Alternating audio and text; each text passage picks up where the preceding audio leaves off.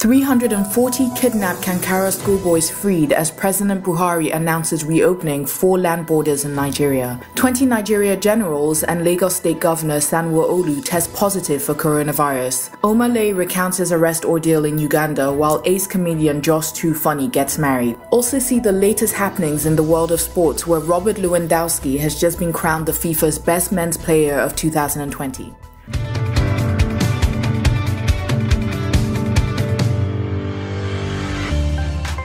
Welcome to Sidomex Universal's Trending Last Week video, where you get the hottest gist that happened during the past week. If you have not, kindly subscribe to our channel and click the notification bell icon to know when we drop our next cool video. This week, Nigerian ace comedian Josh Alfred, popularly called Josh2funny, got married in a private ceremony. It included a stop at the Ministry of Interior, Federal Marriage Registry Ikoyi on Friday the 17th of December 2020, where he and his wife picked up their marriage certificate. Recall that the comedian had announced getting engaged to his longtime girlfriend in October 2019. Fans rejoiced with Josh on hearing the news of his marriage. Emmanuel Iwueke, another Nigerian comedian who uses the stage name Crazeclown, is expecting his first child with his fiancée Jojo. The news went public after Crazeclown posted a lovely picture of his heavily pregnant fiancée and himself. Jojo rocked her pregnancy bump garbed in African native attire, and Crazeclown captioned the photo, My Woman Crush. This week, celebrity couples were really at it in full swing. On the international scene, Cardi B gifted her husband, Offset, an exotic Lambo Aventador SVJ for his birthday. Watch the WAP crooner lead her man to his birthday gift amidst friends and family. The car is said to be worth about $600,000. Still on celebrity love life, Instagram influencer Laura Ikeji and her husband Ogbonna Kanu celebrated their fourth wedding anniversary with loved up pictures. Ogbonna Kanu, a former Nigerian footballer, shared a lovely video of his beautiful wife on social media, while Laura posted a TikTok video to mock those who said her marriage wouldn't last four months. It has not been all lovey dovey in the entertainment space this week. Nigerian singers Omah Lay and Tems have been arrested in Uganda on Sunday, the 13th of December 2020. Their arrest had led to a massive unrest on social media, with both celebrity and fans calling for their immediate release. The matter had even appeared more serious when images of the singers and their managers in cuffs and in court emerged online. According to the Kampala Metropolitan Police Public Relations Officer, the arrests were made because the concert they attended was unauthorized. Also, the police claimed that they had suspected the Nigerian entertainers of engaging in acts that could further spread the coronavirus. Eventually, Omah Tems, and their managers were freed due to the intervention of the Nigerian mission in Uganda. Omah Lay revealed that it had been a close call and they had even seen the insides of Ugandan prisons as well. On Monday, the 14th of December 2020, majority of people using Google services reported experiencing an outage in the early hours. Such services like YouTube, Gmail, Google Assistant, and Google Docs were down for about an hour. Google later acknowledged the outage and blamed it on its overwhelmed servers. This was a first of its kind for Google, with complaints and tweets about it trending number one on Twitter with more than 1 million tweets. The frantic reaction showed how reliant people had become on technology and the power of the internet, and we saw another example, this time locally in Nigeria. On Wednesday, the 16th of December 2020, the Nigerian Communications Commission, the NCC, announced that telecommunications companies have two weeks to block SIM cards not registered with the National Identity Numbers, NIN.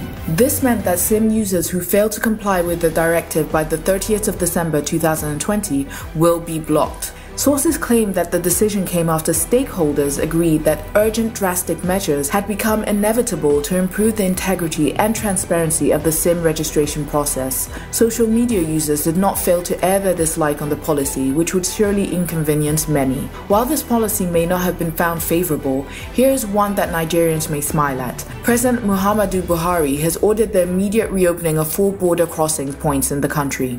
According to the administration, the land borders were closed last year to curb smuggling of rice and arms. It had explained that it threatens efforts to boost local production and security. Also, the closures were put in place to generate state revenues through import duties. Seme border to the southwest, Illela and Maigatari border in the northwest, and Mfun in the south will be opened. In addition, other land borders will be reopened on the 31st of December 2020. Another piece of good news this week on a national scale is that the 340 kidnapped Kankara schoolboys have been returned on Thursday, the 17th of December 2020.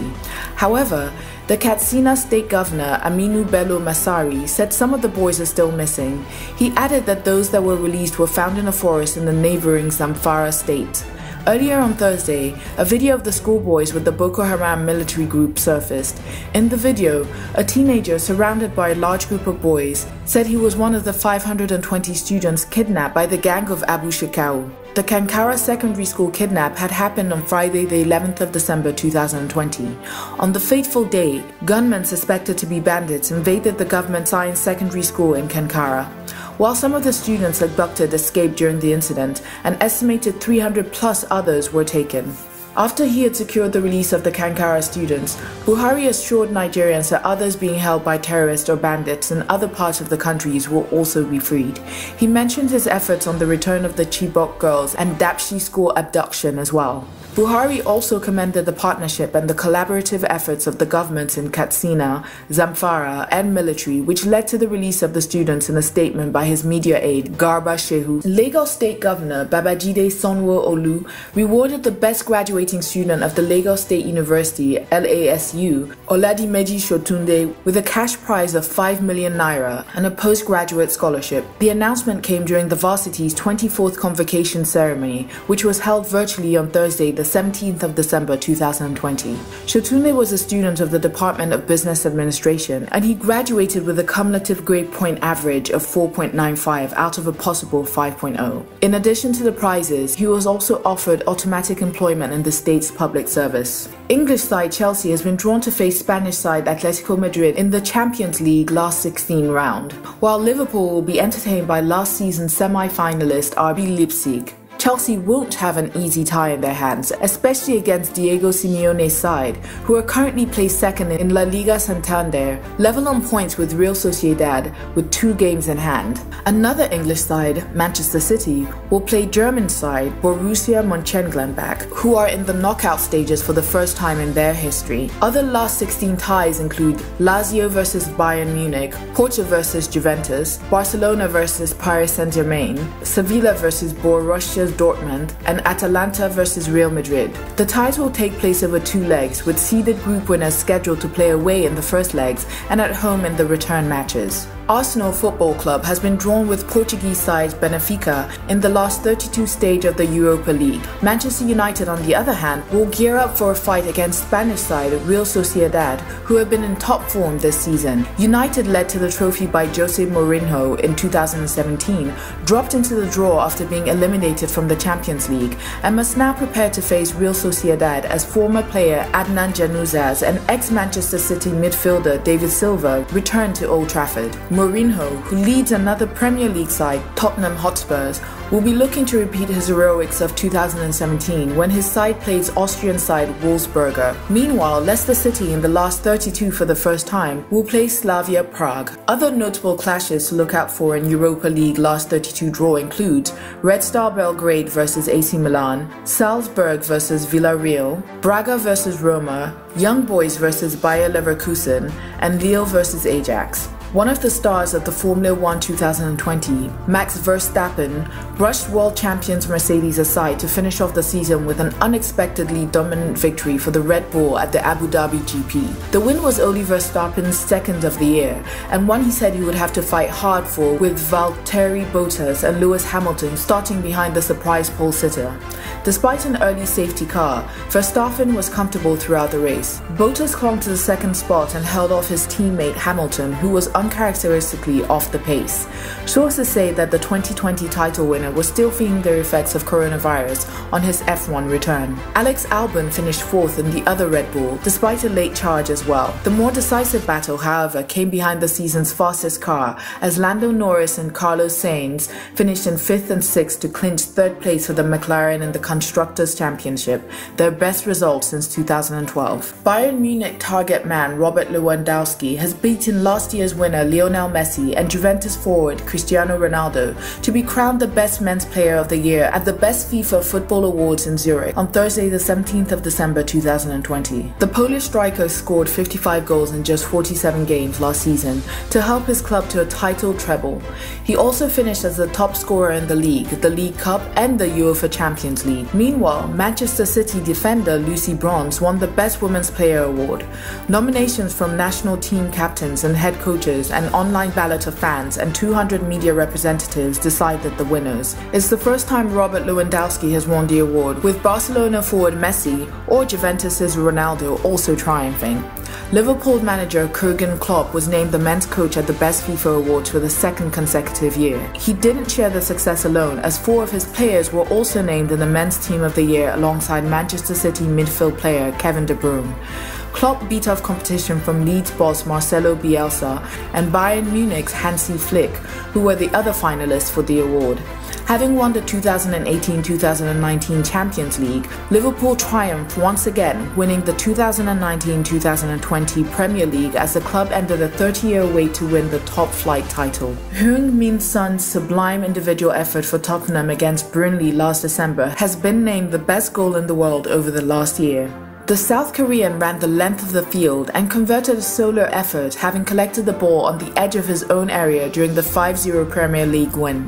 Son joins the likes of Cristiano Ronaldo, Neymar, James Rodriguez, Zlatan Ibrahimovic, and Mohamed Salah in claiming the award. Premier League clubs, during a shareholders meeting on Thursday, the 17th of December 2020, voted against allowing teams to make five substitutions per match.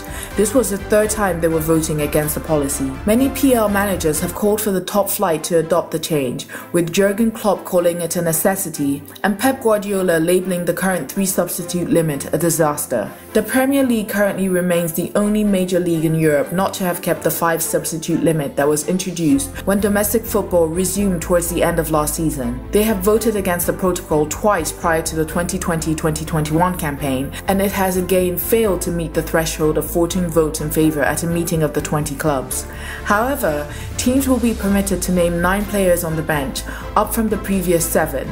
This will go into effect from this weekend. The ATP has confirmed that the Australian Open men's tournament will be delayed by three weeks due to the coronavirus and will now run from February 8th to the 21st. The association announced an update for the first seven weeks of the season as tennis continues to navigate its return during the COVID 19 pandemic. Doha, Qatar will host qualification for the first major event of the year from January 10th to the 13th. This will allow time to travel and a 14 day quarantine period for all players and support staff traveling to Melbourne. Due to the pandemic, Auckland's ASB Classic and the New York Open will not take place while the ATP said it was attempting to secure new dates for the Rio Open, which was scheduled to start on February 17 but now conflicts with the Australian Open. It is also unclear if the women's and wheelchair sides of the draw will commence when scheduled. The ATP Challenger Tour season will start on January 18th after qualification for Melbourne concludes. Giannis Antetokounmpo has signed a five-year contract extension worth a reported $228.2 million with the Milwaukee Bucks. This is the richest deal in NBA history. His agent confirmed the total value, and it beat the mark of $228 million that Houston Rockets guard James Harden set in 2017. Had the Greek forward Antetokounmpo not signed, he would have been eligible for free agency after the 2020-2021 season. His new contract contract, however, permits him to opt out of the deal after four years. Giannis helped the Bucks finish top of the Eastern Conference last season with the best record in the NBA. About 20 Nigerian generals reportedly tested positive for coronavirus after the death of Major General Johnny Irefin, the general officer commanding 6th Division Port Harcourt River State. According to reports, the infected generals came in contact with Irefin during the Chief of Army Staff's annual conference 2020. Since the Major General's death, the conference conference has been cancelled. Meanwhile, every other person that attended the conference was initially directed to go into isolation. This includes the Chief of Army Staff Lieutenant General Tukur Buratai, the Minister of Defense Bashir Magashi, and GOCs from nearly all the Army divisions nationwide. Also this week, the Lagos State Commissioner for Health announced that Governor Babajide Sanwo-Olu tested positive for coronavirus. Akin Abayomi said the governor was experiencing mild symptoms and fatigue typical of a mild case of COVID. Sanwo-Olu was undergoing treatment and is being closely monitored at home by a clinical team from the Infectious Disease Hospital in Yaba. In addition, the commissioner enjoined Lagosians to keep celebrations to a minimum and be observant and responsible in their interactions to avoid spreading coronavirus even faster. The number of coronavirus infections in Nigeria, and especially in Lagos State, is on the rise. This is why Afropop singer Davido has decided to cancel the first ever DMW Live in concert, which was slated to be held on the 18th of December 2020 at the Echo Hotel and Suites. Davido explained that he is cancelling the show as the cases increased because he values the health and well-being of his fans, employees, and artists. He mentioned that many fans had already purchased tables at the event and they will still enjoy the DMW live concert in the very near future. As of Friday, the 18th of December 2020, the total number of confirmed coronavirus infections in Nigeria was 77,013. 1,212 deaths have been reported, while 67,484 patients have recovered and been discharged from isolation facilities across the country. This means that the number of active cases was 8,317. This is where we draw the curtains of this week's Trending Last Week episode. If you enjoyed this episode, like this video and share with your friends. Also, share your thoughts with us in our comment section below.